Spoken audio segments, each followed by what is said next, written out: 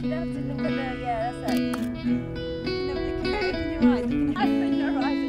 You. My name is Speech Debelle. I'm 26. I'm from South London.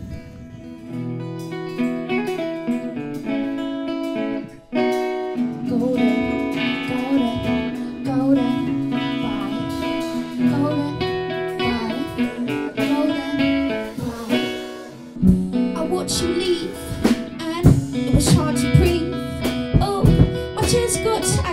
got asthma, and I don't even smoke like that. But how can I take you back when we don't even work like that? We can't see eye to eye when you're here, and when you're not here, things are clear. The only thing is to say goodbye, and harder than that is when I start crying. My strength has now become my weakness, cause I wish the truth was a lie. My head says no, but my heart says yes. My head tells me we ain't having this. I hate you and love you at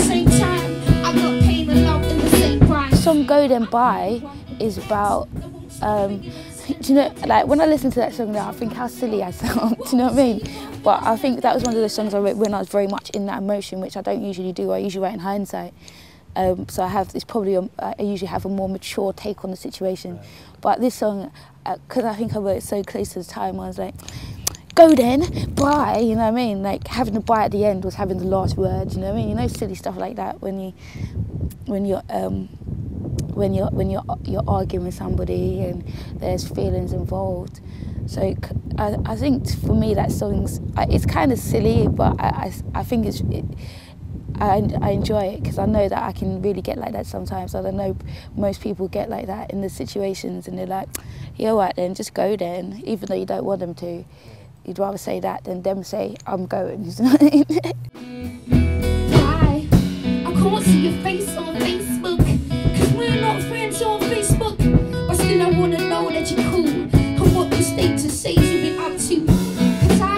I said I couldn't carry on, it was messing with my head.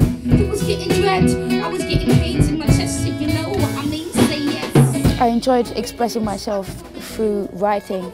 So for me, it was like, it was more like therapy, therapy for me. So, I mean, when it came to the point to do the album, I was actually a, a bit nervous about putting some songs on there because it was like, man, nobody's really supposed to hear this. Do you know what I mean? This is just like my my, my diary to a certain extent. My everyday lights and your mind was right, the mind right, set, and that's hard to come, but I couldn't let you into my life, and as you came correct, but you. I've got an album now, and I, I, I- I see it more as a representation of me, which I probably didn't understand before because I didn't have something to hold on to to say that's me.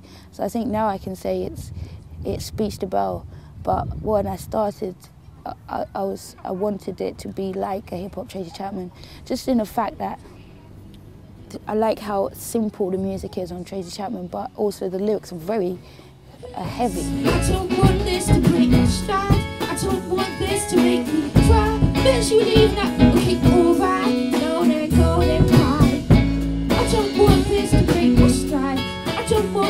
I me cry. Bitch, you leave now. Last album, you can say, was so many years in the making from the time I worked the first song um, until the time that it was finished. And so the next album won't be that won't be that long space of time. It might be only six months of recording and everything.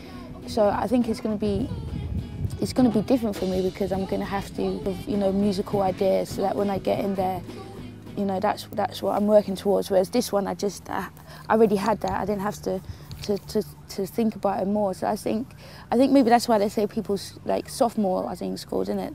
Sophomore albums are a bit more difficult because you, you you have to really kind of kind of search for a lot of inspiration.